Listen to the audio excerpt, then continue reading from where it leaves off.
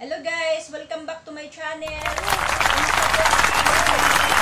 Sa ating mga buhay-buhay at nandito na naman tayo para magkwentuhan ng isang kwentong makabuluhan, kwentong may kwenta, ika nga, at hindi po ito kwentong barbero, hindi po ito kwentong kanto, kundi kwentong totoo na talagang makakatulong sa pang-araw-araw nating mga personal na buhay at makakadagdag na rin kaalaman sa ating mga buhay.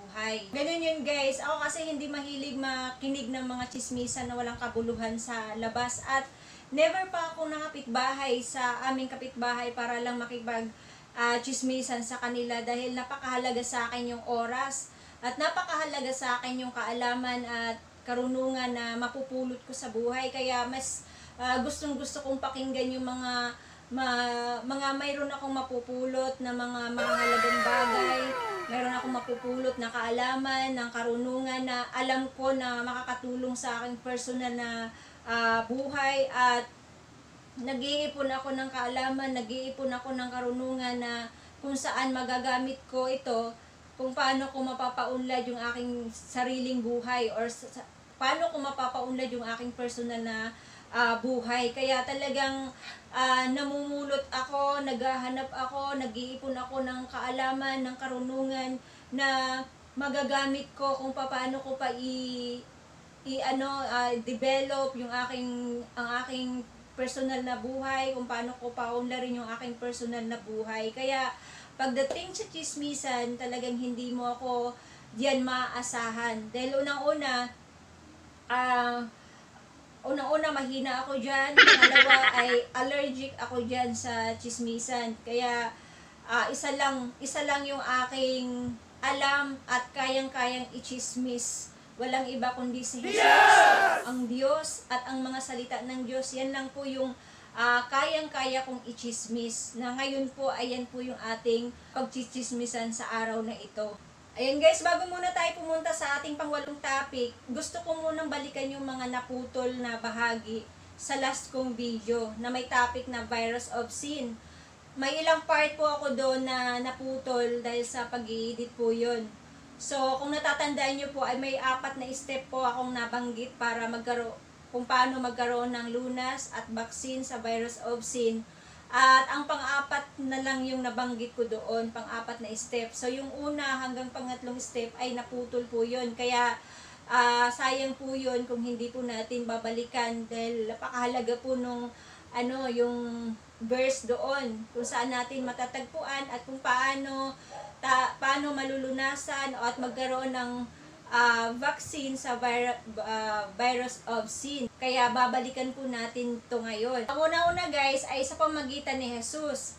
Sabi doon sa John chapter 2 verse 2, sapagkat si Kristo ang handog sa ikapagpapatawad ng mga kasalanan natin at kasalanan din ng lahat ng tao.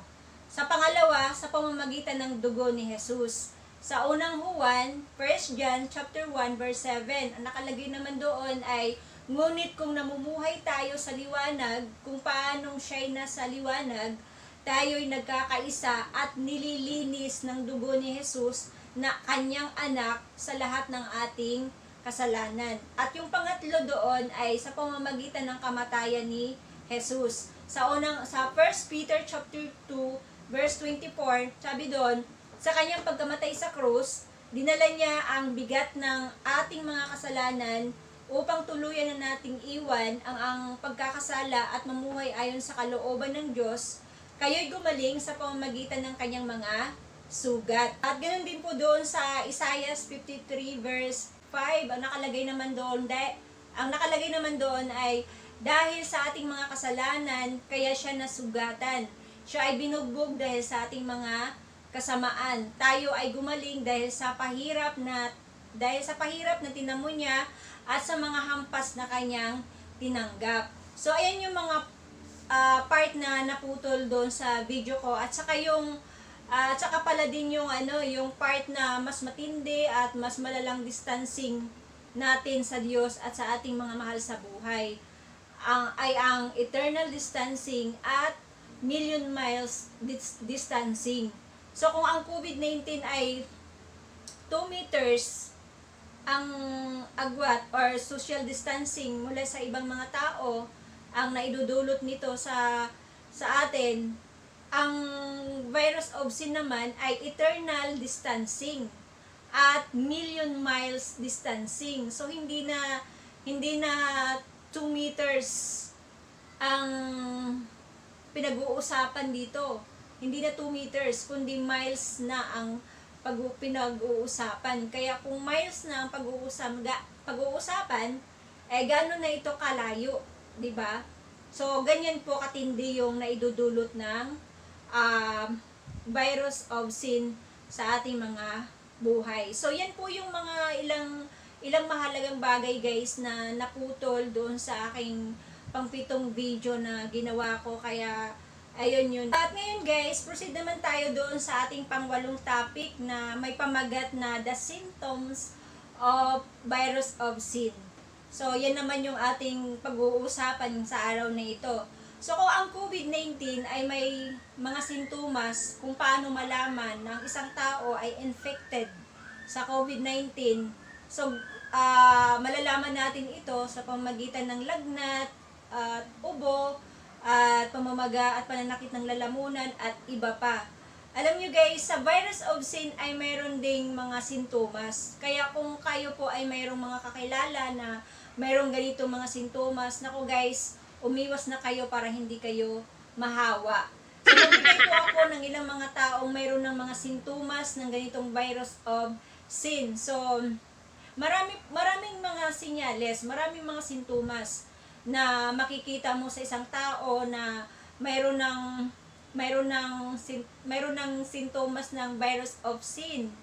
So makikita po natin 'yon pag kaya pag-aaralan po natin tong uh, ilang ilang uh, tao na mayroon ng mga sintomas para para sa ganun po malaman natin kung sino-sino yung mga dapat nating iwasan. Unang-una na dito mga guys ay yung mga taong mainitin ang ulo. Dahil sabi po doon sa Kawikaan chapter 22 verse 25, 24 hanggang 25, huwag kang makikipag-aibigan sa mainit ang ulo sapagkat baka mahawa ka sa kanila. Napansin niyo po ba yung salitang baka mahawa ka? So, ibig sabihin lang yan guys, ang pagiging mainitin ng ulo ay para ding virus na kumakalat at nakakahawa sa isang tao o sa maraming tao. Pansinin nyo guys, sa loob ng ano, sa bahay, kapag may kasama kang mainitin ng ulo, madali, madali at mabilis uminit ang ulo nila, mahahawa ka din doon sa init ng ulo nila. For example, may kasama kang uh, naghahanap ng isang bagay na hinahanap nila, tapos pag hindi nakikita, agad may iinit ka agad yung kanilang mga ulo, nagdadabog na sila, kung ano-ano na yung mga sinasabi nila. Kapag narinig po natin sila na nag-iingay, nagbubunga nga, ay nag-iinit na rin yung ating mga ulo. Dahil sa mga narinig natin at sa mga masasamang naririnig natin mula sa kanilang mga bibig. Kaya uh, nagpapa nag, na napapaputo kutsinta na tayo. di, di ba? Dahil sa ating pong mga narinig sa kanila. Kaya talagang mabilis tayo mahawahan ng init ng ulo kung tayo po ay may mga kasamang uh, may mga kasama sa bahay na mainit mainit din ang ulo. Pangalawa guys, halimbawa yung may kasama ka na ano, pangalawa pangalawang sample ay yung meron kang kasama sa bahay na naghahanap ng kanyang nawawalang salamin sa mata. Ayun, naghahanap siya ng salamin sa mata, hindi niya nakita. Lahat na ng ano, lahat na ng tao sa bahay, pinagbibinta na nga niya na sa sa nawawalan niyang salamin. At syempre, tayo bilang kasama niya doon sa loob ng sa loob ng bahay na 'yon, iinit na rin ang ulo natin kasi napagbibing napagbibintangan na tayo niya. Yung pala, yung salamin na hinahanap niya, nakakabit na pala sa mata niya. Nalimutan lang niya. nalimutan lang niya na nakakabit na pala sa mata niya. 'Di ba may mga ganong may mga ganong kaso sa uh, senaryo doon sa sa loob ng ating bahay na kapag may may mainit na mainit ang ulo na kasama mo sa bahay, mabilis ka rin mahahawahan ng init ng ulo. Kaya ang Bible mismo ang nagsasabi na Huwag kang, kung may kilala kang ganitong mainitin ng ulo, sabi, sabi sa Kawikaan chapter 22, di ba? Ay, umi, huwag kayong makipagkaibigan sa kanila. Baka mahawa ka. So, yung salitang mahawa, ay parang virus lang din yan na nakakahawa. Di po ba? Kaya yan yung isa sa mga sintomas na makikita natin sa isang tao na siya ay ano, siya ay may mayroon ng ah, infected na ng virus of sin. Yung pagiging mainitin kasi ang ulo guys ay madali, mabilis makahanap ng away, mabi- mabilis makahanap ng kaaway, madali ka rin makapanakit ng tao, ng damdamin ng tao, at higit sa lahat ay ah, madali kang makapatay ng tao dahil sa init ng ulo. Na kung saan ay kasalanan po ito sa sa mata ng Diyos ang pagpatay ng tao. At isa po ito sa kasama sa sampung utos ng Diyos na mababasa po natin doon sa Exodus chapter 20 verse 13 na wag kang wag kayong pumatay or wag kang pumatay. Kaya sabi din sabi din doon sa Kawikaan 29 verse 22, ang taong magagalitin ay laging napapasok sa gulo, laging nakikipag-away dahil sa init ng ulo. Gayon din po doon sa Kawikaan chapter 19 verse 20, ang sabi naman doon, di dapat pansinin ang taong mainit ang ulo. Mapa, mapayuhan mo mang minsan, patuloy ding manggugulo. Kaya guys, uulitin ko, pinapaiwasan sa atin ng Diyos sa pamagitan ng Bible, sa pamagitan ng kanyang mga salita. Ulitin ko, pinapaiwasan sa atin ng Diyos itong mga ganitong klasing tao na maiinitin ang ulo. So, ang sabi doon kanina, sa Kawikaan chapter 22 verse 24 to 20 to 25, baka daw kasi mahawa tayo. Kaya umiwas na lang tayo sa kanila. At yung pangalawang mga tao naman guys na may mga sintomas ng ano, virus of sin ay yung mga masasamang kasama. Mga tao mayroong masamang impluensya sa buhay po natin. Kaya sabi doon sa unang Korinto, 1 Corinthians chapter 15 verse 33, ang nakalagay po doon, ah, sabi, kaiingat kayo. Ang masasamang kasamay nakasisira ng magagandang ugali. So, pansinin nyo guys, yung salitang kaiingat kayo. Isa po itong babala or payo, paalaala sa atin na kailangan nating iwasan itong mga ganitong klasing tao. Yung mga taong walang mabuting impluensya o maidudulot sa buhay po natin. For example, kung ang sasamahan mo ng mga tao ay mga, mga negatibong mag-isip, magiging negatibo ka rin. Kung ang mga taong sasamahan mo ay mga tamad sa buhay, magiging tamad ka rin. Kung ang sasamahan mo mga tao ay mahihina ang loob, mahihina rin ang loob mo. Kung ang mga taong sasamahan mo ay mga walang diskarte sa buhay, wala ka rin magiging diskarte sa buhay. Kung ang mga taong sasamahan mo ay mga walang panindigan sa sarili, magiging wala ka rin panindigan sa sarili mo. Kung ang mga taong sasamahan mo ay walang ah, walang mga pangarap na umunlad sa buhay, wala ka rin magiging pangarap na umunlad sa buhay. At kung ang mga taong sasamahan mo ay mga mga chismosa, magiging chismosa ka rin. Kung ang mga taong sasamahan mo ay mga walang malinaw na magandang direksyon ang buhay, wala ring linaw, wala ring malinaw na magandang direksyon ang buhay mo. Kung ang sasamahan ng mga tao ay ah, hindi makadiyos, hindi ka rin magiging makadiyos. So kung ano yung kung ano kasi yung guys mga tao sa samahan mo ay magiging katulad ka rin nila. Ayan po yung sinasa ang Bible na mismo ang nagsasabi nito sa atin. Kaya pag-isipan nating mabuti. Pag-isipan natin ng maraming bises, mamili tayo ng mga taong sasamahan natin at kilalanin nating mabuti ang mga taong sasamahan natin or sasamahan ninyo.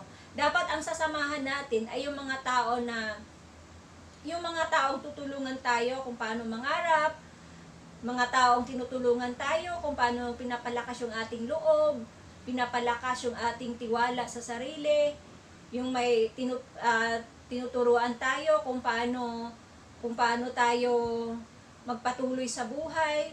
So, kumbaga ini-encourage tayo. So, ginagawa yung yung mga taong ah, mayroong maidudulot na mabuting bagay, magandang bagay sa buhay po natin, yun yung mga taong dapat nating hanapin at samahan sa buhay po natin. Kasi nga guys, kung katulad lang din ng mga nabanggit ko ng mga nauna na mga klaseng tao ang sasamahan natin, ano ang maitutulong nila sa atin? Ano ang ma ano ang mai-share nilang mabuti para sa atin? Ano ang ma maidudulot nilang mabuti para sa atin? For example, kung ang, ang mga taong sasamahan mo ay mga walang pangarap sa buhay, paano kanila tuturo ang mangarap sa buhay, di ba? O, kung ang sasamahan mo yung mga taong mahihina ang loob, so paano kanila tuturuan na palakasin ang loob mo? O paano kanila turuan na lakasan ang loob mo? Eh sila, sila rin mismo na sinasamahan mo, eh mahihina din ang loob. So nakita nyo guys, yung pinupoint ko dito, na na kung ano talaga yung mga taong sasamahan mo, lagi mong kasama sa araw-araw, ay magiging ganun ka. Kaya yun yung dapat nating ah, pag-isipang mabuti. Kaya uulitin ko guys, yung sinabi ng Bi- sa Bible sa 1 Corinthians chapter 15 verse 33, na ang sabi doon, kaiingat kayo. Kaiingat. Ang masasamang kasamay nakasisira ng magandang ugali. Kaya tandaan po natin yan mga guys. Ang pangatlong mga tao naman guys na may mga sintomas ng, ng virus of sin ay yung mga taong chismosa at mga taong masasakit magsalita. Yung tipong yung mga salita niya talagang sumusuot sa puso mo na na parang tumatago sa utak mo na sobrang sakit na halos hindi mo na makalimutan yung kanyang masasamang sinasabi laban sa iyo. So, yun yun. Yun yung mga taong yung may mga sintomas. At mababasa po natin yan sa aklat ng Santiago chapter 3 verse 2 hanggang 8. So, babasahin ko po sa inyo para malaman po natin kung saan matatagpuan itong mga taong mayroong ganitong mga sintomas. So, Santiago chapter 3 verse 2 hanggang 8. Sabi dito, tayong lahat ay malimit magkamali. Ang sino mang hindi nagkakamali sa kanyang pananalita ay isang taong ganap at marunong magpigil sa sarili. Kapag nilagyan ng bukado ang bibig ng kabayo, ito'y napasusunod at napapupunta saan man natin ibig. Gayon din ang barko. Bagamat ito'y napakala, napakali, napakalaki at itinutulak ng malalakas na hangin, na ibabaling ito sa pamagitan ng isang napakaliit na timon saan man ibigin ng piloto. Ganyan din ang dila ng tao. Kay liit-liit na bahagi ng katawan, ngunit malaki ang nalilighang kayabangan. Isipin na lamang ninyo na palalagablab ng isang maliit na apoy ang isang malawak na kagubatan. Ang dila, ang dila ay isang ang apoy, isang daigdig ng kasamaang nakahahawa sa ating buong katawan. Mula sa impyerno ang apoy nito at pinag-aapoy ang lahat ng buhay ng tao. Lahat ng uri ng ibon at hayop na lumalakad o gumagapang o nakatira sa tubig ay kayang supilin at talagang nasusupil ng tao, ngunit ang walang makasusupil sa dila, ito'y napakasama at walang tigil, puno ng kamandag na nakamamatay. So, nakita po natin. Una sa lahat guys, ang chismis kasi ay parang virus din yan. Mas matindi pa nga sa virus kung, titing, kung tutuusin. So, parang virus na mabilis kumalat. Mas matindi pa nga to sa COVID-19 eh. Bakit ka mo? Halimbawa, isang oras ka, ka palang pinagchichismisan, kumakalat na yan sa kung saan saan. Nakakarating na yan sa nakakarating na yan sa iba't ibang lugar. Nakarating na sa iba't ibang bansa yung chismis laban sa iyo. Hindi mo pa alam yung hindi mo hindi mo pa nga alam yung chismis mo sa sarili mo. Hindi mo pa nga alam na pinagchismismisan ka na ng ng ibang tao. Pero yung chismis na yun nakakarating na na kung saan saan. 'Di ba? So ganun po kabilis kumalat yung ah, chismis. Mas matindi pa sa ano ah, virus ng ah, COVID-19.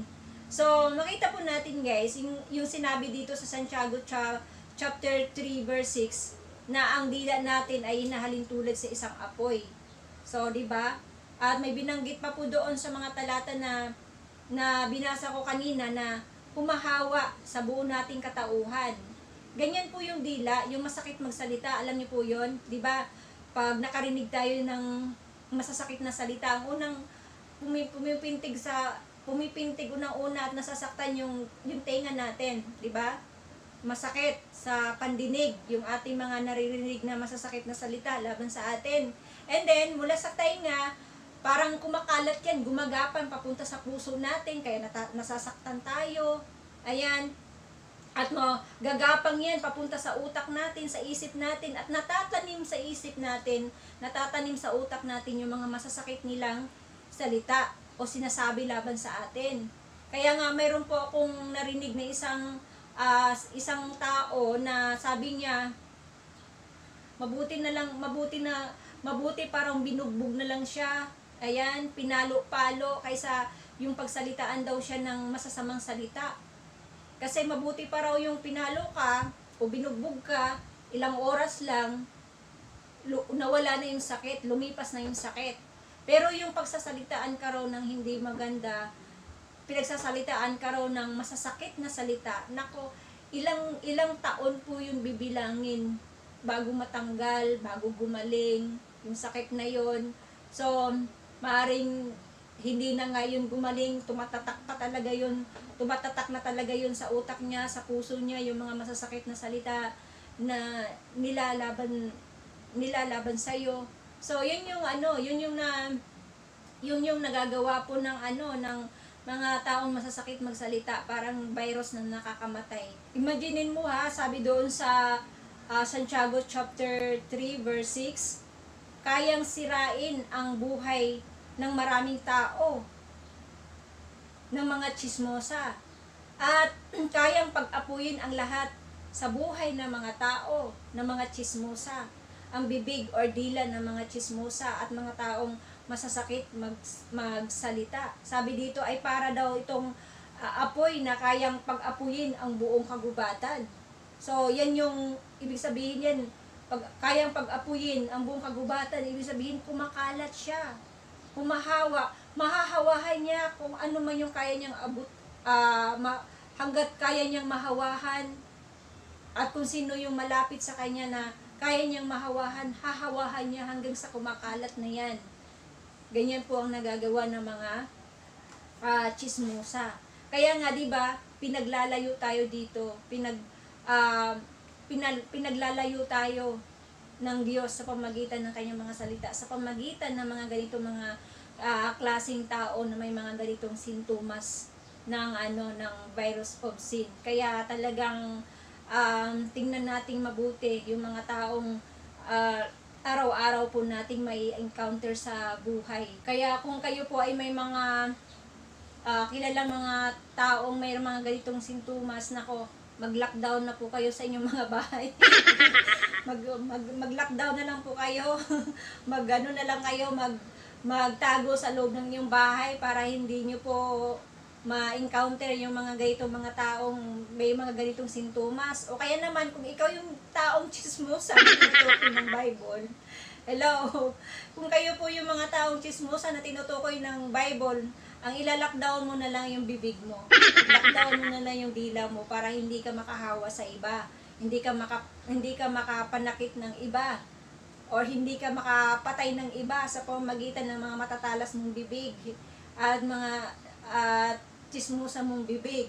Kaya 'di ba, ang sabi akong ah, ang sabi sa Bible, iwasan natin yung mga ganitong mga ah, tao na may mga ganitong sintomas. So, pang-apat guys, pang-apat na tayo at panghuli, yung mga taong inggitera at mga inggitero. So, may mga kilala po ba kayong mga inggitera at mga inggitero? So, sila po yung guys, isa sa mga mayroong sintomas ng virus of sin. Dahil alam nyo po yung inggit, yan, yung inggit ay isang sintomas din po yan ng virus ng kasalanan. So, ang inggit po kasi guys ay ah parang virus na nakakamatay, pumapatay. Ayan po yung nagagawa ng inggit. So, kung hindi man siya mamamatay sa sobrang inggit niya sa kapwa niya, sa sobrang niyang inggit, siya yung papatay. At makikita po natin yan, mababasa po natin yan sa Bible, yung mga example po na mga taong mga naiinggit na kaya nilang pumatay kahit kahit kapatid, kaya yung patay inggit. ah, sa buhay or inggit sa katawan. Kaya basahin ko muna po guys yung Santiago chapter 4 verse 1 to 2. Sabi dito sa Santiago chapter 4 verse 1 to 2. Ano ang pinagmumulan ng iyong alitan at paglaban-laban? Hindi ba't ang masasabang nasa na namumugad sa kalooban ng bawat isa sa inyo at pawang nagkakalaban-laban? Mayroon kayong pinakamimithi, ngunit hindi niyo makakamtan. Kaya't papatay kayo kung, kaila, kung kailangan. Papasain niyo lamang ito dahil sa inyong pag-iimbot sa mga bagay na hindi inyo. Kayo'y nagkakagalit at naglaban-laban. Hindi ninyo makakamtan ng inyong minimithi sapagkat hindi kayo humihingi sa Diyos. Ayun. So, yung yung pinagmumulan ng paglaban-laban, pag, ah, patayan, isa po yan sa dahilan niya, yung inggit. So, dahil mayroon siyang mayroon siyang gustong gustong gusto na isang bagay, gustong gusto na posisyon, gustong gusto na isang tao para mapunta lang sa kanya, para mapasa kanya, ay kailangan kinakailangan niyang pumatay. At sabi nga po, ah, sabi ko nga kanina na walang pinipili ang inggit. Kahit kapatid, pinapatay po niyan. At ang example po nito sa Bible ay si Cain at saka si Abel. ba? Pinatay ni Cain si Abel dahil sa sobrang inggit ni Cain kay Abel. So, magkapatid yan sila. Kaya nga sabi ko sa inyo, walang pinipili na kapatid-kapatid o kamag-anak yung yung inggit sa katawan. Kaya ayan po yun, mababasa po natin yan doon sa Genesis chapter 4 verse 7. Kung maalala po natin yung kwento ng magkapatid na ito, sila ay naghandog sa Panginoon, sabay silang naghandog. Ang inihandog ni Cain ay mga gulay na inani niya sa kanyang bukid at ang inihandog naman ni Abel ay yung pinakamainam na sa alaga niyang tupa, ang inihandog niya sa Diyos. Kaso nga lang, ang ang tinanggap ng Diyos na handog ay yung handog ni Abel kasi may, pinakamainam kasi yung binigay niya. Kaya nakasimangot itong si Cain nung yung handog lang ni Abel yung ano yung tinanggap ng Diyos. Kaya sa inggit po niya, sa sobrang niyang inggit, niyaya niya yung kanyang kapatid doon sa bukid para mamasyal daw doon sa bukid. Pero yung pala, ay mayroon na siyang masamang binabalak sa kanyang kapatid para doon patayin sa bukid. So, pumapatay siya dahil sa kanyang dahil sa inggit sa kanyang katawan. Kaya yun yung makita po natin na nagagawa ng inggit. Ang pangalawa namang example guys ng mga taong may inggit sa katawan na, mat- na matatagpuan natin sa Bible ay yung ah, kwento po doon sa magkapatid ni Jose. Yun, mga kapatid ni Jose na nainggit po kay sa kanya sa Genesis 37 verse ah, 3 babasahin ko po sa inyo para malaman niyo yung kwentong yun. So Genesis chapter 37 verse 3 sabi dito, mas mahal ni Israel si Jose kaysa ibang mga anak sapagkat matanda na siyang nang ito'y isinilang. Iginawa niya ito ng damit na mahaba at may manggas. Linamdam ito ng kanyang mga kapatid at ayaw nilang pakisamahang mabuti si Jose. Minsan na naginip siya at lalo silang namuhi nang ito'y sabihin niya na panaginipan ko, wika ni Jose, na tayo ay nasa bukid at nagbibigkis ng trigo. Tumayo raw ang aking binigkis at yumukod sa paligid nito ang inyong mga binigkis. Ano? Ang ibig mo bang sabihin ay maghahari ka sa amin? Tanong nila. At lalo silang nagalit kay Jose. Na naginip uli si Jose at isinalaysay sa kanyang mga kapatid. Nakita ko sa aking panaginip na ang araw, ang buwan at labing isang bituin ay yumukod sa isang harapan. Sinabi rin niya ito sa kanyang ama at ito'y nagalit din sa kanya. Anong ibig mong sabihin? Tanong ng ama, kami ang inyo, kami ng inyong ama't mga kapatid ay yuyukod sa harapan mo? Inggit na inggit kay Jose ang kanyang mga kapatid, hindi naman ito maub, maubos maisip ng kanyang ama. So makita niyo po dito yung sobrang inggit ng mga kapatid ni ni Jose sa kanya. Kaya sa mga sumusunod na talata, kung babasahin niyo po 'yon, mga sunod na chapter, ay sa sobrang inggit po ay pinaplanuhan po nilang patayin si si Jose. So dahil nga dugso din dahil sa dugso din ng dugo, bugso din ng dugo, ay hindi nila tinuluyang patayin, inihulog na lang nila sa balon na walang tubig. So hindi nag hindi nag ano, hindi sila nasayahan doon sa kanilang ginawa na paghulog sa balon kay ano kay Jose, ibinenta nila si Jose. Kaya napunta si Jose sa ah, sa bansang Egypto. Kaya so ang, ang makita po natin dito yung ano sa sobrang inggit po ng kanyang mga kapatid sa kanya. Kaya pinagpaplanuhan siya ng masama at nagpaplanuhang patayin. Kaya ganyan po yung nagagawa ng inggit, pumapatay. Pumapatay ng tao. Kaya ah, tingnan natin yung mga ganitong mga tao na mayroong ganitong sintomas na may inggit sa katawan. So, iwasan po natin yung mga ganitong tao. So, ayun guys, dito natapos yung ating tanghaling topic sa araw na ito. At sana naman ay marami marami kayo uli na natutunan doon sa ating mga pinag-usapan sa araw na ito. At kung hindi pa po kayo nakapag-like at nakapag-subscribe sa aking YouTube channel, huwag niyo pong kalimutan mag-like at mag-subscribe. At ah, pindutin nyo na rin po yung notification sa baba para makatanggap po kayo ng mga bagong upload ko na video. At mm, bisitahin nyo rin po yung aking isang YouTube channel na kung saan ay itinuturo ko naman po doon yung ah, about sa health and beauty tips para sa mga kababaihan. At kung kayo po ay may mga time, bisitahin nyo po yun paminsan-minsan. Yan, maraming maraming salamat sa inyo guys, sa inyong pagsubaybay. Mabuhay tayong lahat at pagpalain tayo ng Panginoon. Hanggang sa muli.